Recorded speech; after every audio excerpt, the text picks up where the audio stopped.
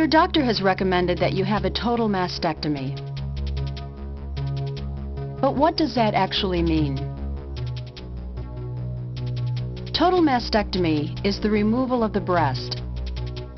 In most cases, mastectomy is required in order to remove cancerous tissue from the body.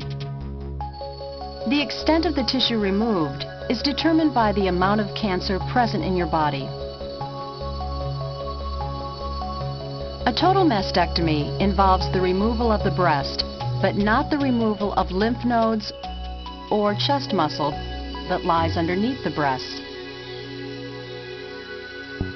Your doctor has recommended that you undergo a total mastectomy because the cancer in your breast has progressed to the point that it is in danger of spreading into other parts of your body. And the only way to make sure that all of the disease has been eliminated is to remove the entire breast. This is major surgery, and the procedure will permanently change the outward shape and appearance of your chest. So make sure that you ask your doctor to carefully explain the reasons behind this recommendation.